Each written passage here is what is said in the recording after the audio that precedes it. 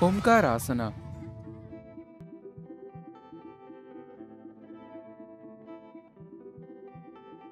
Sit on the ground with the legs outstretched. Bend the left leg and place it behind the left shoulder without straining the muscles.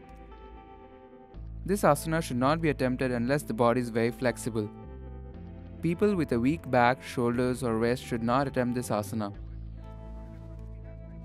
Place both hands on the floor. Use the hands to push off the floor and rise up on the right leg. Slide the right arm behind the right leg, keeping the upper body parallel to the ground. Lock the right foot behind the left elbow and straighten the upper body. Maintain balance for as long as possible. Breathe normally. It is an advanced asana which requires a lot of strength and a good balance.